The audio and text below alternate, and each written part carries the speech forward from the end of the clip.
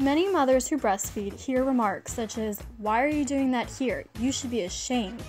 Or, You're still breastfeeding him? He's four. They are based on myths that have unfortunately been accepted into our society. As the Boob Busters, we are here to debunk these myths and properly inform you.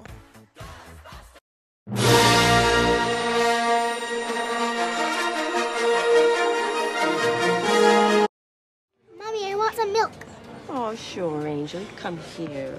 Give you a little something. Slow down, honey. Your son is so cute. Yeah. How old is he? Oh, he's uh 48 months. That's four. Yeah. Myth number one mothers should nurse for only six months. The U.S. General Surgeon suggests that mothers should breastfeed exclusively for six months, and it's best to breastfeed for up to 12 months. However, there's nothing that says you have to stop after that first 12 months. It's perfectly normal for a mom to continue to breastfeed after the first year. It's up to the mom and the child to decide when to stop nursing.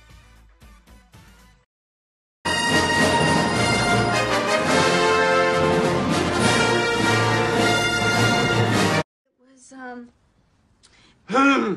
I guess it was around one because I had to go back to work and finish my shift. And then when I got out, I headed over to the hotel with Tyler. A lot of women feel uncomfortable or embarrassed when breastfeeding, especially out in public. Women should not be ashamed. It's a natural way to produce for your child.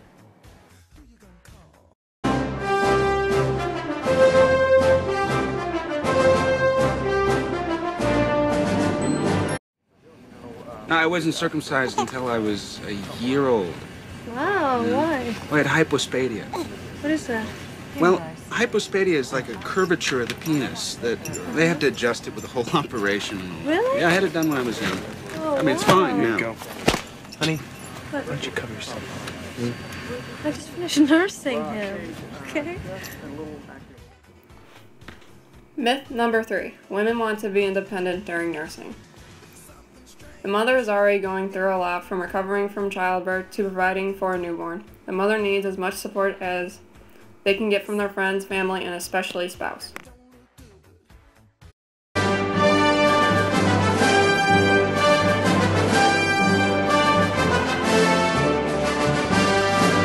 What are you doing there? Well, during the breastfeeding stage, Greg, infants can get very confused and upset when they're separated from their mothers. So I invented something to ease LJ's anxiety during chow time. I call it the mammary gland. I had it made from an exact cast of Debbie's left bosom.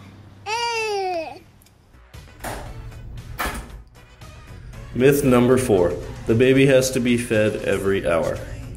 Babies do need to be fed every one to two hours, and nursing can take up to an hour.